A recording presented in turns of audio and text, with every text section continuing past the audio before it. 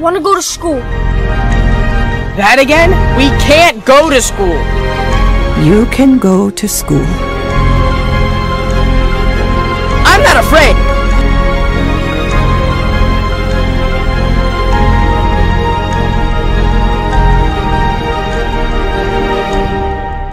Hey, look me in the eye. You know I love you, right? How am I gonna know you're okay? Go, Luca!